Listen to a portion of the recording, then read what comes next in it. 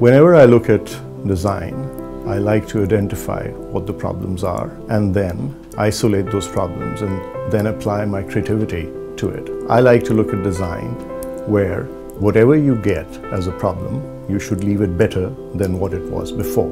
To me, that is good design.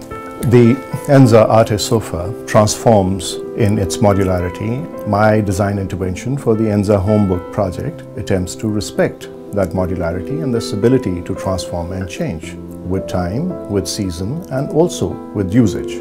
I think the Enza Homebook brings endless possibilities.